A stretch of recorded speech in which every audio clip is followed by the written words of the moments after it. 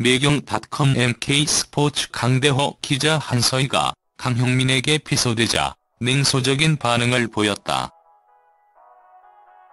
얼짱 출신 작가 강혁민은 8일 한서희 등 1만여 명을 악성, 댓글과 허위사실 유포 등의 이유로 고소했다고 밝혔다. 한서희는 소셜 네트워크 서비스를 통하여 고소는 해도 되는데 제발 내 이름 언급 좀 하지 말아줘. 너랑 엮이는 거 내 사이즈하고 안 맞잖아. 내 생각도 좀 해줘라면서 고소는 원래 조용히 하는 것이다. 내가 집행유예라고 해서 민사소송으로 바로 형을 선고받을 거라는 그런 무식한 소리 하지 말아줘라고 말했다.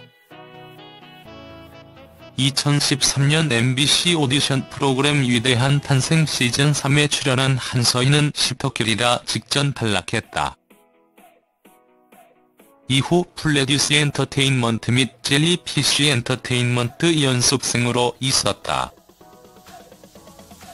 한서희는 2017년 9월 20일 서울고등법원으로부터 마약류 관리에 관한 법률 위반 혐의로 징역 3년에 집행유예 4년, 보호관찰 120시간과 추징금 87만 원을 골자로 하는 판결을 받았다.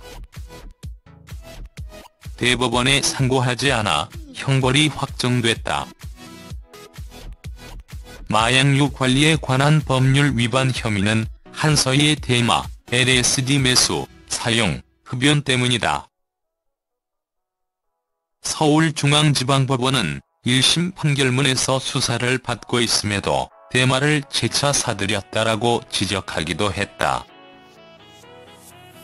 C. 매일경제 and mk.co.kr 무단 전제 및 재배포 금지